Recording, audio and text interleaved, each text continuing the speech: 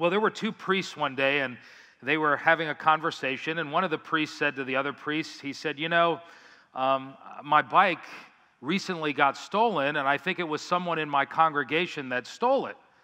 And the other priest said, Well, here's what you need to do. He said, Read the Ten Commandments on Sunday, and then have the church read out loud the Ten Commandments, and hopefully the thief will get convicted and he will come forward. And so the priest thought that was a good idea. And so, following Sunday, he read the Ten Commandments and he had the congregation read the Ten Commandments. Well, the next week, they got together again, and the priest said, So what happened? He said, Well, I got good news. He said, uh, he says, I got my bike back. He said, So the Ten Commandments worked. The priest said, Yeah, they absolutely did. He said, When I was reading them and I came to, Thou shalt not commit adultery, he says, I remember where I'd parked my bike.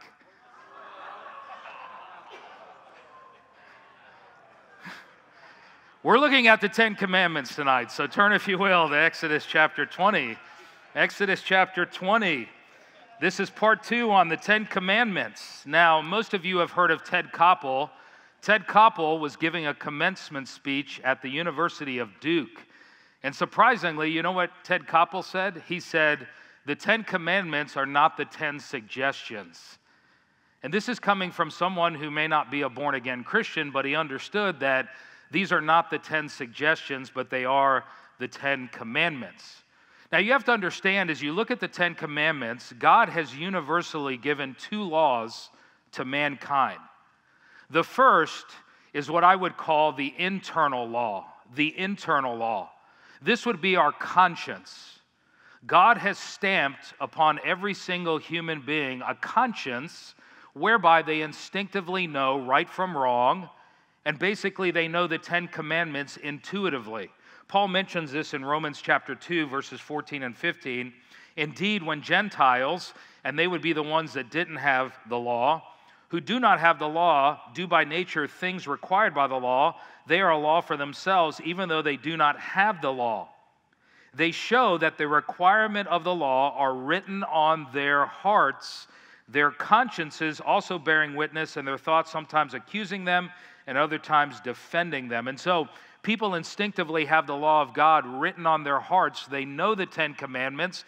And what the conscience does is it serves as an arbitrator and either accuses them or defends them.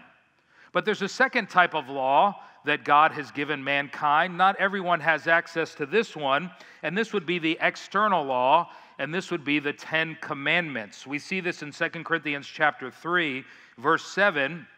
Paul says, Now if the ministry that brought death, which was engraved, here it is, on letters on stone. And so here, Paul is introducing to us not the internal law, but he's introducing to us the external law, and not everyone has access to this particular law. Now, everyone has access to the internal law that God has placed in their hearts through their conscience, but not everyone has the privilege of knowing the Bible or the Ten Commandments. And that's what we're looking at this evening in our study. Now, you have to understand the Ten Commandments God uses, particularly in our country and other countries as well that has been exposed to Christianity. He uses the Ten Commandments to restrain sin and to reveal sin it does have a, a moral use. Whether people follow the Ten Commandments or not, there is a sense in which the Ten Commandments reveal people's sin, and God uses it also to restrain sin within our culture. And really, what people do is they suppress the truth of the knowledge of God. That's what Romans chapter 1 says. Not only do people suppress the internal law of God, that God has stamped on people's hearts. But Romans chapter 1 says that people also do not want to follow the external law, which is the Ten Commandments. And I think we all know in our society today that we are rushing headlong against following the internal law of God and the external law of God. And that's why in our culture today, we see moral relativism running amok because people don't care about the law of God. Now, obviously, there's still a semblance of the law of God, or we would have total chaos and to- total moral degradation in our society, but more and more, our society is suppressing the law of God. We also have to realize that the Ten Commandments actually prove the existence of God. Whether you're talking about the internal law written on your heart or the external law in the Ten Commandments, it actually proves the existence of God. You say, How so? Well, if you and I know right from wrong and there's a moral law, then there had to be a moral lawgiver. For example, in our government, we have three branches. One of them, as you know, is the legislative branch. They are the ones that make up laws. You would never say that the laws that govern our land came out of nowhere, would you? Well, it's the same with the law of God. You and I know right from wrong. And so the question is where did that standard of right and wrong come from? Now, what atheists and evolutionists want to say, well, it's just part of society. There's really no moral objective standard. And the Bible makes it very clear that there is a moral objective standard because if there is not an objective standard, then it's your preference versus my preference. If there is no meta narrative that governs all of us, if there is no objective moral law that governs all of humanity, then it's your preference versus my preference. You like chocolate, I like vanilla. You cannot say what Adolf Hitler did was wrong. That's just your opinion if there is no objective moral law. And so, these laws that govern society, and listen, even non believers know certain things are wrong. Where did they get that instinctive knowledge? They got it from God. And so, the moral law goes back to the fact that there is a moral law giver. And you see, the Ten Commandments are to be used by us when we do evangelism. Many times when we share the moral law of God, what it does, like a mirror, is it reveals sin. This came home to me this past week. I was having an internet conversation with someone, and here is what this person posted on their feed. They said, quote, I don't read the Bible that much and I don't go to church, but I do obey the 10 commandments religiously. And so here's how I responded to the person quote, You sound like an honest and sincere person. However, according to the Bible, you must obey them perfectly to be saved from eternal hell. The problem is, none of us can, and this is why we need a Savior to forgive us of our sin. And so, the moral law of God, particularly in the Ten Commandments, is a way that you and I help people to see that they're sinners in need of a Savior. Because when I go to the hospital, every Tuesday, it happened to me this week, I asked a particular woman, What do you think you got to do to get to heaven? She said, Keep the commandments. Most people feel like if they keep the commandments, they'll get to heaven.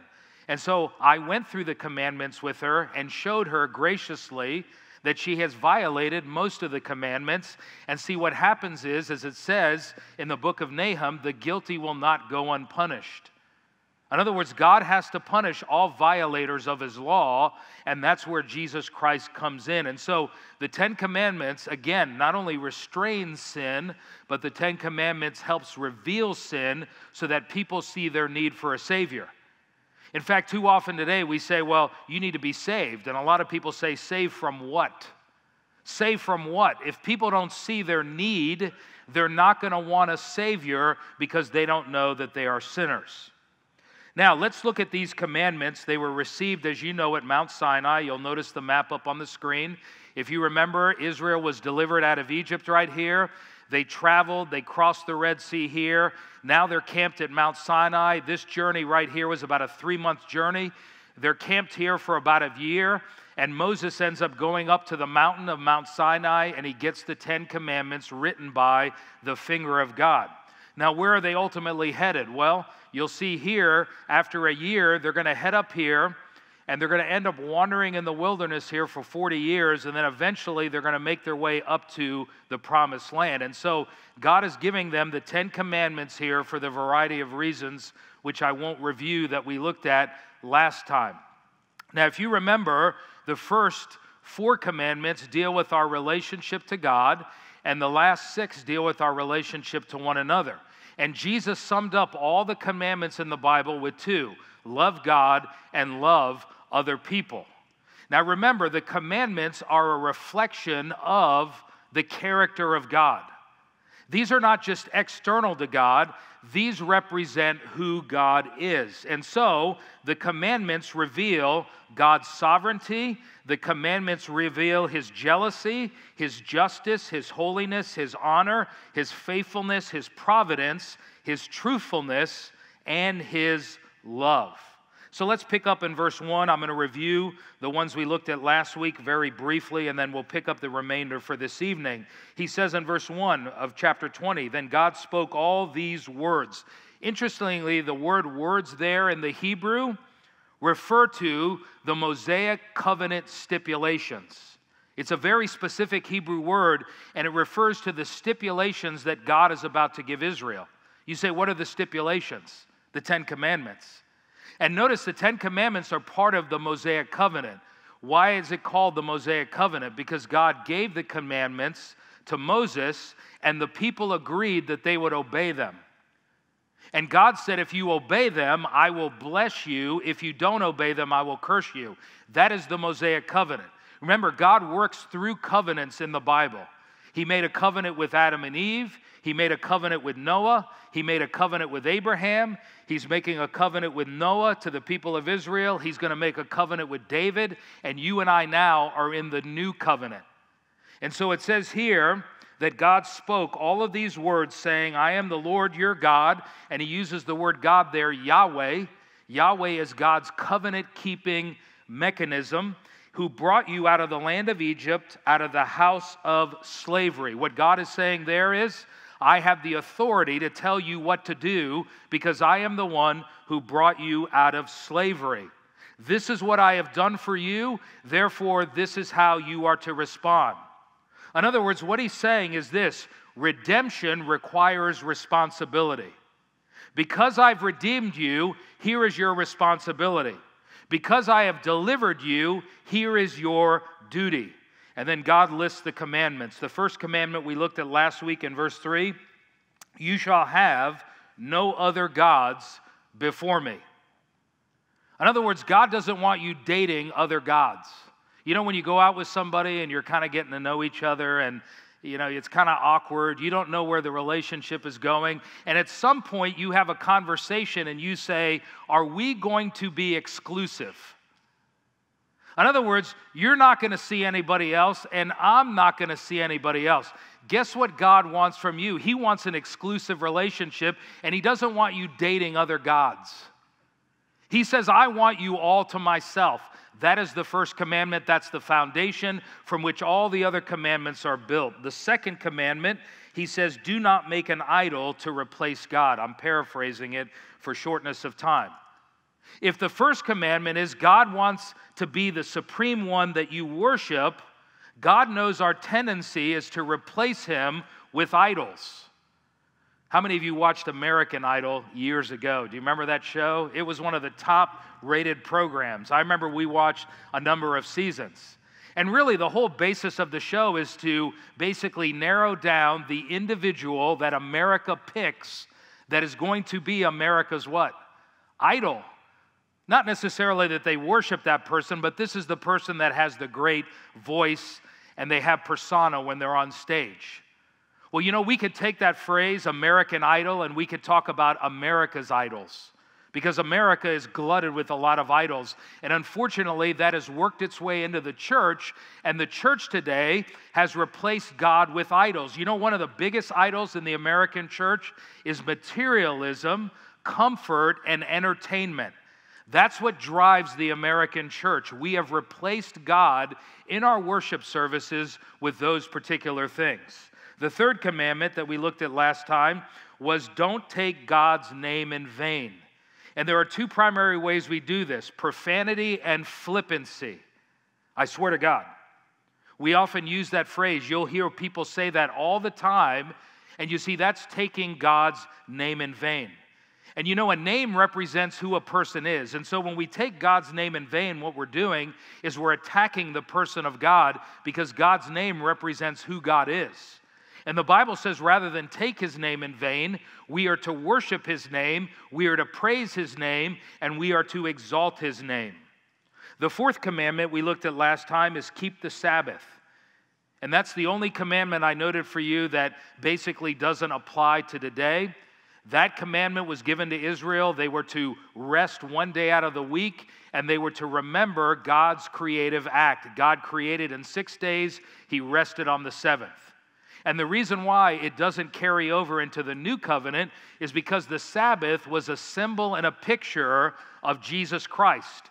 Just as the Passover pictured Jesus Christ and Jesus fulfilled the Passover, the Bible says Jesus fulfilled the Sabbath. In what way? Jesus is our Sabbath rest. We don't celebrate the Sabbath one day a week, we celebrate it every day. Why? Because Hebrews 4 says we trust in the finished work of Jesus, whereby we don't have to work for our salvation. That's why the Sabbath is no longer applicable for today. And then he gets to the fifth commandment, and this is where we pick up this evening, and this begins to deal with our relationship to others. Notice the first one, and that is this we are to honor our father and mother. Notice what he says in verse 12 Honor your father and your mother so that you may live long in the land the Lord your God is giving you. Now, the word honor here has to do with one's attitude. The Bible says we're to obey our parents, especially when we're under their roof. But once you get out from under your parents, you're not necessarily required to obey them, but you are required to honor them. If you're living under their roof, you should honor, and Ephesians 6 says you should obey them. I remember when I was growing up, my mom would get on to me about that. I'm sure you heard it from your mother's lips at times. She would say to me, Michael, she says, You wouldn't talk to your friends the way you talk to me. You know what she was saying? You're not honoring me. And listen, we're not just to honor our parents when we're living at home, but the Bible says we're to honor them throughout our life. Listen to what Proverbs 23 22 says Listen to your father who gave you life, and do not despise your mother when she is old. In fact, it was a capital offense to curse your parents or to strike them with a blow. Exodus 21, verse 17 says this Anyone who curses their father or their mother is to be put to death. And exactly what our culture is doing is they're telling us to defy this command. Our culture, whether through books, whether through movies, or whether through the internet, they basically tell you to be subversive to your parents. And you know what this commandment implies? It implies the family unit whereby loving discipline is exercised. You see, when God says obey your father and mother, you know what that implies? There's a father and a mother in the house where there is loving discipline.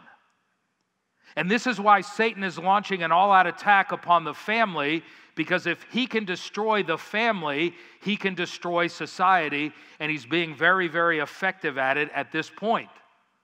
And so that's why God says here we are to obey and respect our father and our mother. Now, there are two reasons why we are to give honor to our parents and we are to obey them if we are under their authority in their house. Number one, he says it generates a longer life. Verse 12, so that you may live long in the land that the Lord your God has given you. In other words, he's telling Israel, when I take you into the promised land, if you want to live long and you want to have success in the promised land, obey your parents. Why? Because God knows that if parents pass down, listen carefully, moral truth to their children, they're going to pass it down to the next generation. And what you're going to have is a continuity of God's truth. On the other hand, if you break up the family and they're not taught biblical truth, what that does is it destroys a society. Just like in the book of Judges. A generation grew up that did not know God. Why? Because there was dysfunction in Israel. He also says in Ephesians 6 if you want to live a long life in general, not just going to the promised land, but he says if you want to live a long life in general, as a general principle, obey your father and mother. Why? Because if they're teaching you the truth and you're staying away from evil, you're going to more than likely live a longer life. Now, this is not a guarantee saying that if you obey your parents, your life won't be cut short, but it's a general promise. And so, the first reason why we need to honor our father and mother and obey them is because it generates a longer life. But there's a second reason, and that is this authority and submission is in God's created order. God has established authority and submission within his created order. For example, Jesus submits to God. Husbands are to submit to Christ. Wives are to submit to their husbands. Children are to submit to their parents. Employees are to submit to their employers. Citizens are to submit to the government. Angels submit to the Trinity. You see, God has established authority and submission within society. And you know what? What Satan wants to do is he wants to destroy that particular order. And he wants people to rebel against established structures. Now, the only time we're not to obey our father and mother is if they ask us to do something unbiblical. Should we still honor them? Absolutely, because they gave us life. But there are times where we may have to go against our father and mother because they ask us to defy the commandments of God. Well, there's the sixth commandment that he gives in verse 13, and it is this You shall not murder. Now, some of you have the translation not to kill. But actually, a better translation is not to murder because there are times, which I will show you shortly, that killing is actually sanctioned by God. Now, what does he mean, do not murder? Well, he means do not take one's, someone's life in a premeditated fashion. Now, there is different types of murder or killing in the Bible. For example, we're going to see in chapter 21 in the weeks to come, there is involuntary manslaughter. And God actually made provision for that. If you killed somebody involuntarily, you could flee, according to Numbers 35, to a city of refuge because they didn't have police officers back then, and the family would want their revenge, and so you could go to a city of refuge. We're not talking about that murder here. We're talking about premeditated murder where you take someone's life, whether it be a preborn, a newborn, a child, an adult, an elderly person, or if you murder yourself. Now, God, why is God prohibiting thou shalt not murder? Because God considers human life sacred. If you read Genesis chapter 9, it was a capital offense if you committed premeditated murder. And the reason why God says in Genesis 9 is because we are made in the image of God, and therefore God values life. And you and I know that murder is running amuck in our culture because of all the violence that is going on.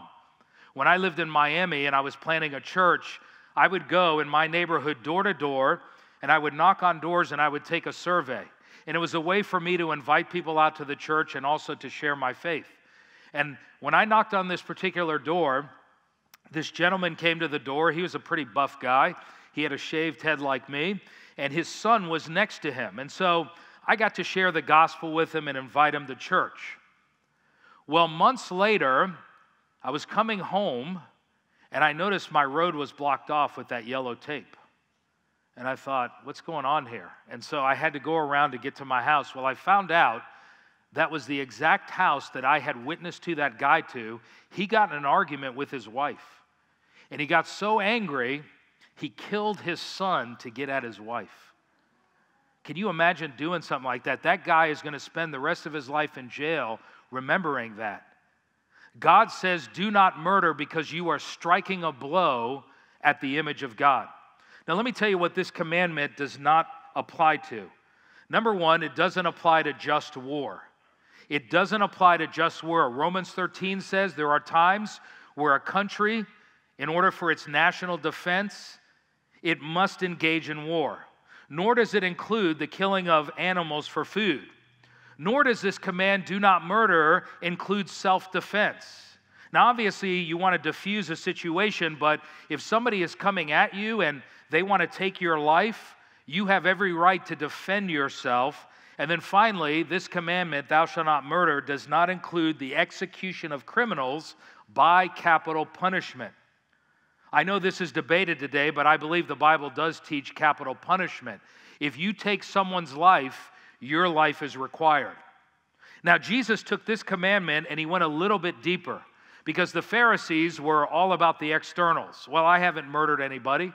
And I would venture to say there's probably most of you here that haven't murdered anybody physically, but Jesus took it deeper when he talked about anger. Look what he said in Matthew chapter 5.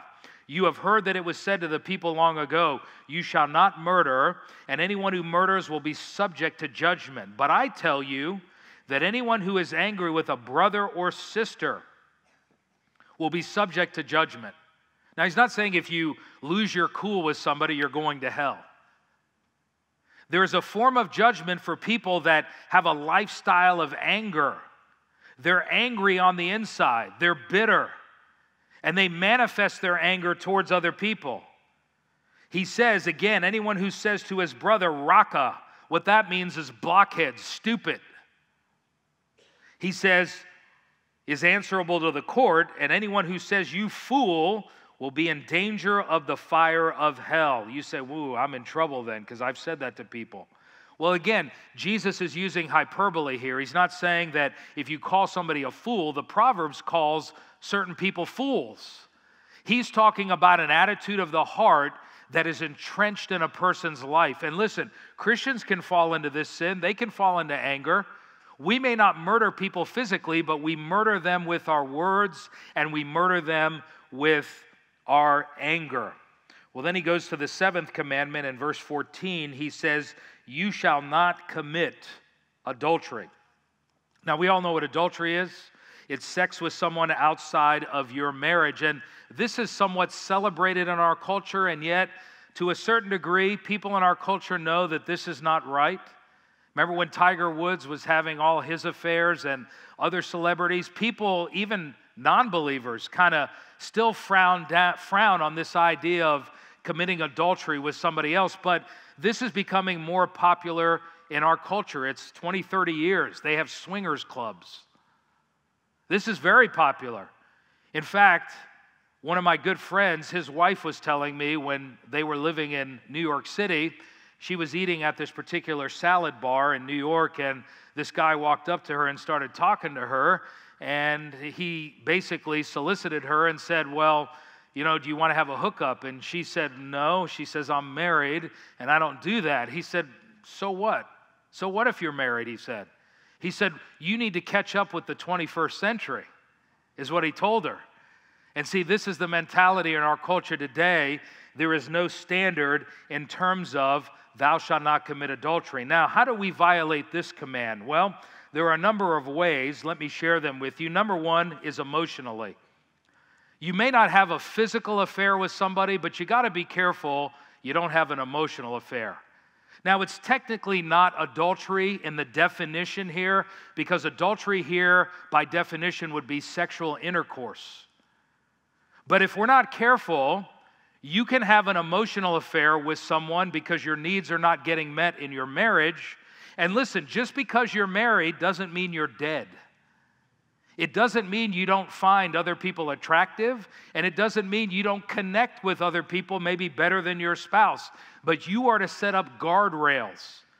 You're to have healthy friendships with the opposite sex, but you are to set up guardrails.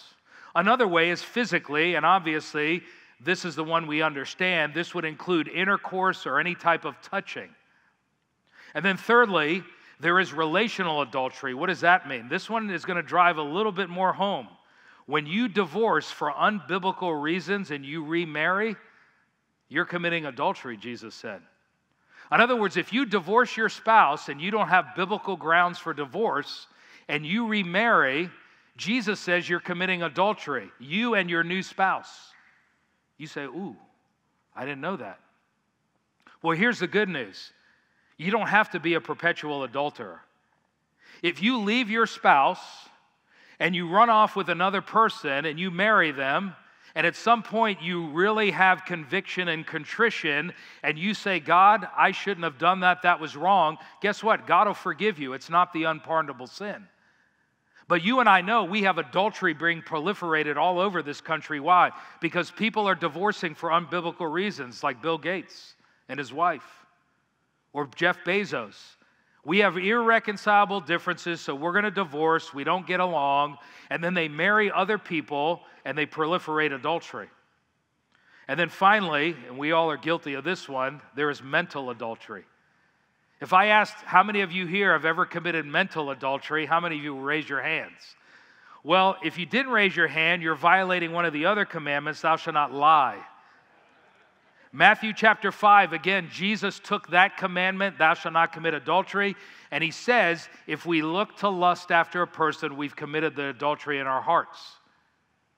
And so these are four different ways that we can violate this commandment. So, practically, how do we avoid from committing adultery if we're married? Let me give you a couple suggestions. Number one, keep boundaries with those you are attracted to or you connect with. Keep boundaries physically and emotionally. You don't need to act weird around people, but keep healthy boundaries. Number two, work at your marriage through communication, conflict resolution, and spending time together. You got to work at your marriage. If you're married, you understand this. Now, some couples have to work harder than others. Why? Because most people marry their opposite. And opposites initially attract and then they attack. That's what happens. It reminds me of the priest at his church, and he was doing a marriage seminar. And as he was talking, he called out a particular guy in the, in the seminar. His name was Giuseppe. And he said, Giuseppe, he says, uh, uh, You've been such a great example and you're married. He says, You're getting ready to celebrate your 50th wedding anniversary. He said, Come on up here and tell everybody the secret to your successful marriage. And so he got up in his Italian voice. He says, Well, you know, I, I treated my wife great and, and I did this. And then he said, And I took her to Italy for my 25th wedding anniversary. And the priest said, Well, that's great. You're such a great example. He said, So tell me, what are you going to do for your 50th wedding anniversary? He says, I'm going to go to Italy to pick her up.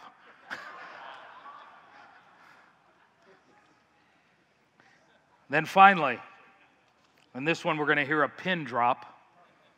Stay sexually active in your marriage.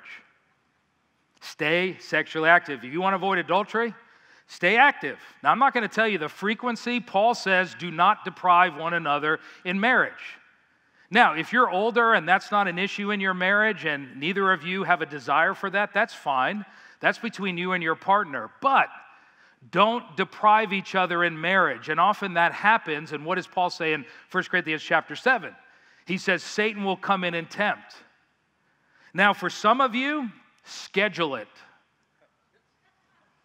I'm being serious. There is a place for spontaneity and there's a place to schedule because if you're so busy, you know what? Make a point to be physically active with one another. That's not dirty, it's not bad. God created sex, it's a beautiful thing. And I'll tell you what, it bonds couples together. And so don't neglect it, don't use it as a weapon against one another, but stay sexually active, and that will help guard against adultery. All right, let's look at the eighth commandment he says this in verse 15 You shall not what? Steal. In the Septuagint, which is a Greek translation of the Old Testament, I love the word. You know what the word is? Klepto. We get the word klepto from this. You've heard of the term klepto what? Maniac. It's taking what belongs to someone else, which, by the way, implies ownership of property.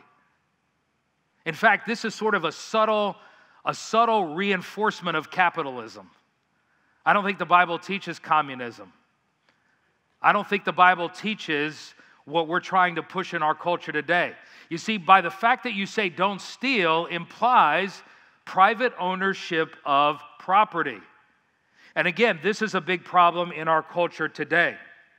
In fact, I remember when I was a young boy, I had a penchant for stealing. I don't know why, but I remember I would walk close to one of the grocery stores in Miami. It was called Winn Dixie. Ever heard of Winn Dixie? Well, there was a Winn Dixie nearby, and I would walk to Winn Dixie, and they had one of these huge containers with Hot Wheel cars, and I would just help myself to them and walk out, five finger discount. And I remember when I was in Sears one time, I stole a flashlight, one of those little ones. And when I got home, my parents found it and they said, Where did you get this? And I said, Well, I took it from Sears and they said, Come on, get in the car. And so, you know, back in the days when, you know, morals were reinforced, I had to go and I had to give it back to Sears. I had to fess up to it. See, stealing is a part of our culture. There's a lot of things, a lot of ways, I should say, that we violate this particular commandment. Uh, one way is swindlers. Haven't we seen a lot of this today with these Ponzi schemes?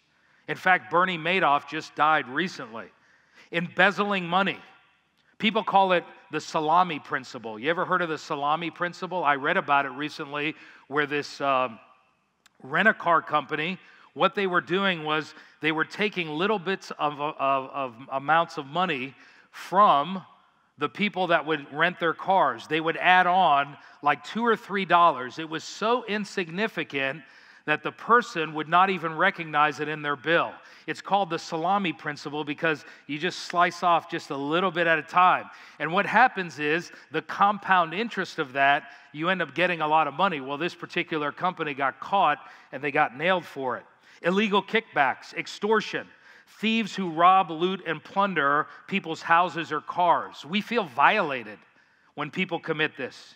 Stealing on our jobs by not working when we say we've worked eight hours, getting paid, using company money for personal enrichment. Lying on our income tax is another way we do this. How about this one? Violating copy law, copyright laws or stealing someone's work and claiming it as your own. Or how about this one? The redistribution of wealth that people earn. Do you realize that is a form of stealing? That's why I'm not for this socialism because you're punishing people that work hard and you're taking their money and giving it to everybody else, and that is a form of theft or stealing people and enslaving them.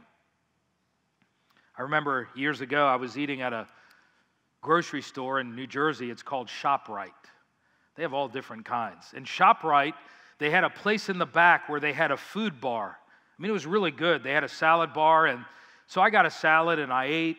And usually, what they do is when you purchase your salad, in the container, they would take a sticker and they would put it on there saying that you bought the salad or whatever you bought. It was proof that you got it. And so I ate the salad and then I threw it in the garbage can and I walked out. And as soon as I walked up, a, walked out, a guy came up to me like this, and I thought, oh gosh, he's going to witness to me. And he said, excuse me. He goes, um, did you pay for that salad? And I was looking at him going, what do you care? He says, Did you pay for that salad? I said, Yeah. He said, uh, Well, we went and grabbed it and it didn't have the sticker on it. He says, I'm a police officer. I said, uh, Yeah, I paid for the salad. He says, But there was no sticker on it. I said, The worker didn't put a sticker on it. He said, Well, I said, Look, that's not my problem. She, put, she didn't put the sticker on.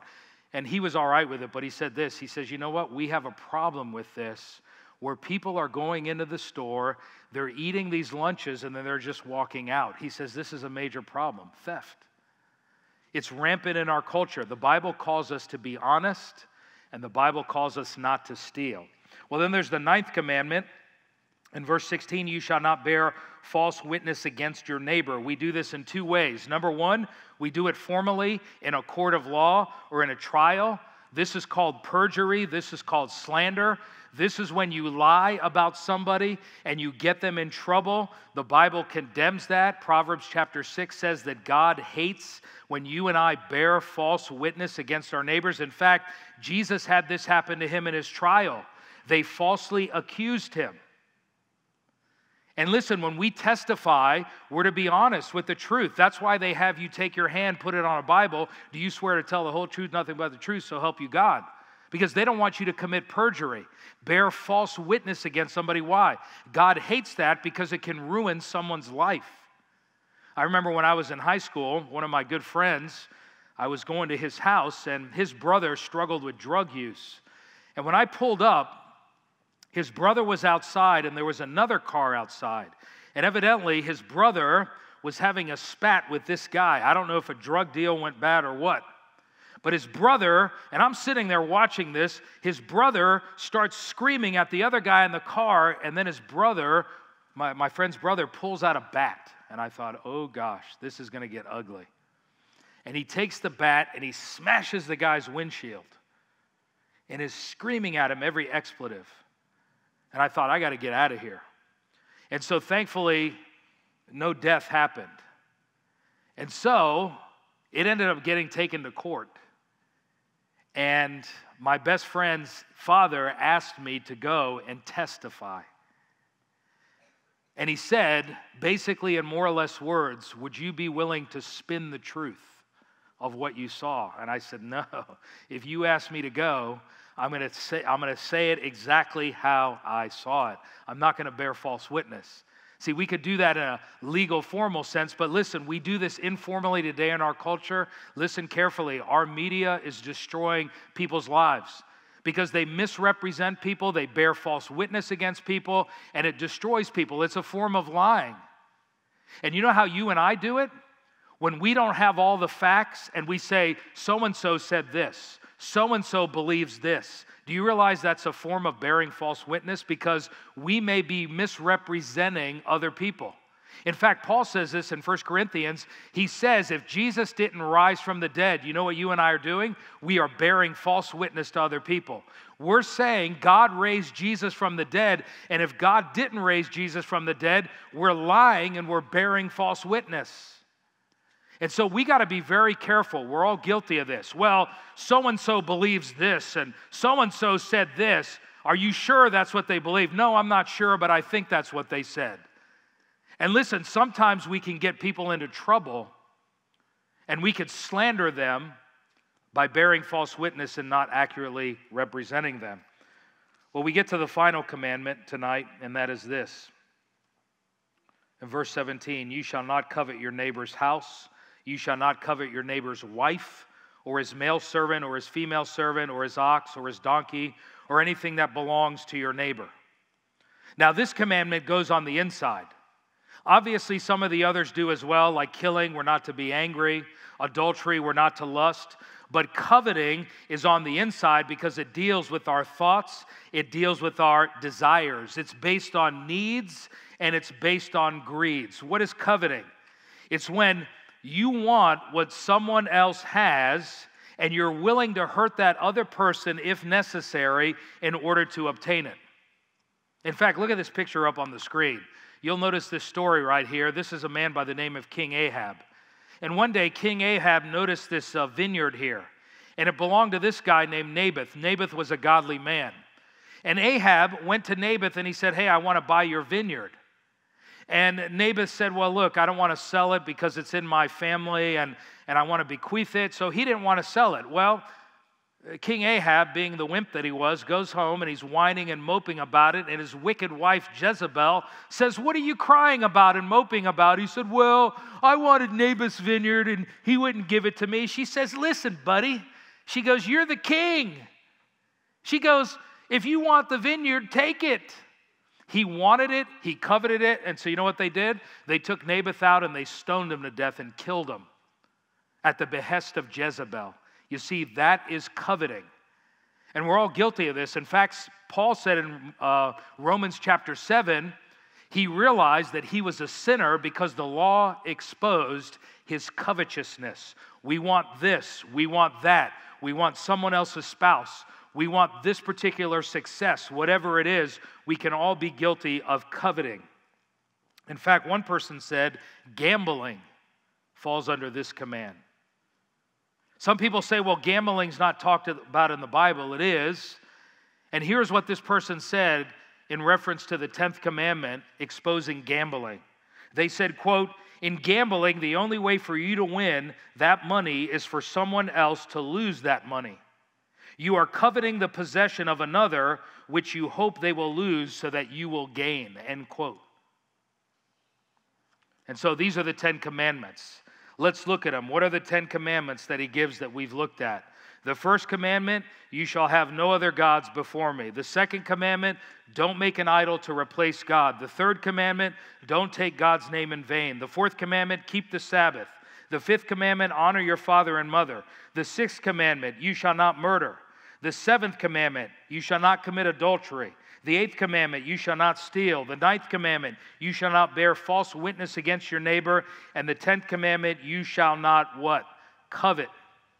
And so it says in verse 18 as we close, all the people perceived the thunder and the lightning flashes and the sound of the trumpet and the mountain smoking.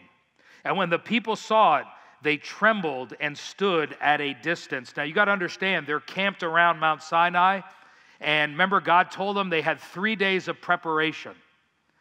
There was this anticipation. God says, Wash your clothes, don't have sexual relations, and get yourself ready because I'm going to show up on the mountain. And God shows up in a theophany. You have lightning, you have thunder, you have this smoke.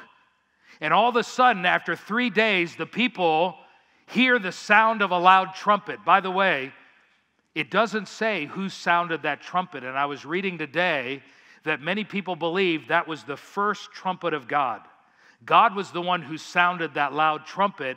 And then you have the last trumpet, which is mentioned in 1 Corinthians 15. And so the people hear this noise. They hear like an earthquake, and they go out of their tents and they peel it back and they look at the mountain and they see the, the fire, the flashes of lightning, the thunder. Listen, the people freaked out. And here's what they said You and I would have freaked out as well. They said to Moses in verse 19, Speak to us yourself, and we will listen. But let not God speak to us, or we will what? Die. Moses said to the people, Do not be afraid. He acted as their mediator, just as Jesus acts as our mediator in between us and God. He says, For God has come in order to test you, and in order that the fear of him may remain with you, so that you may not sin. In other words, God created this, this sound and the effects in order to instill fear in the people so that they would reverence God. So when God gave Moses the Ten Commandments and he brought them down, the people would be open to obey. God is teaching them. There is a healthy fear of God, by the way.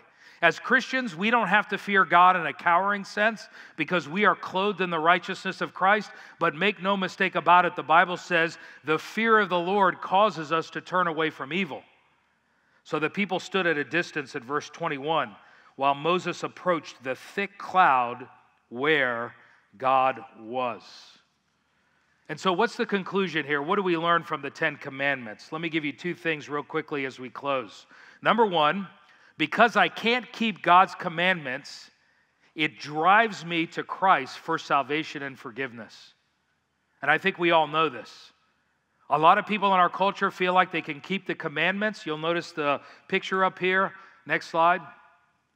You'll notice here, man is constantly trying to keep the commandments in order to get to God, but the Bible makes it very clear that the commandments are designed not to save us, but to drive us in our need for God. Because why? In the next slide, you'll notice that Jesus Christ is the mediator. He is the one who kept all the commandments. Therefore, we are driven to God when we realize that we are insufficient to keep the commandments of God. And there's one other principle that I think from the Ten Commandments we learn, and that is this we are called to keep the commandments still in the power of God. The commandments still apply today, except don't keep the Sabbath. Look what Paul says in Romans 8. He says, And so he, that is Christ, condemns sin in the flesh in order, listen to this, that the righteous requirement of the law might be fully met what? In us who do not live according to the flesh, but according to the what? The Spirit. You see, God still expects you and I to keep the Ten Commandments.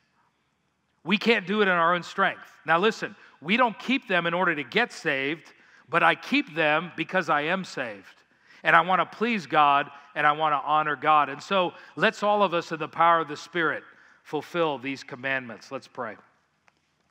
Father, thank you this evening for reminding us of these commandments that many of us were probably raised with. Many of us were taught in our, in our homes the commandments. We were taught in church. And yet, Father, we realize that it's so important to rehash them because we all violate them, sometimes willfully and sometimes unintentionally. Lord, I thank you that the commandments drive us to you, not only for forgiveness, but also, Lord, for salvation. And Father, I pray that you would work in this country, God. We have casted the commandments aside. And Father, this is seen by many of our courthouses and many of our state capitals, there's, there's these arguments about removing the commandments because of separation of church and state. Lord, it's just a reflection of the fact that we have become a secular society. And we don't want your commandments to rule over us. And so, God, we ask you to forgive us. We ask you to cleanse us. And we ask, Lord God, that you would awaken this nation again to your commandments. and that people would see that because we have violated them, we are seeing the consequences in our society. We ask this in your name.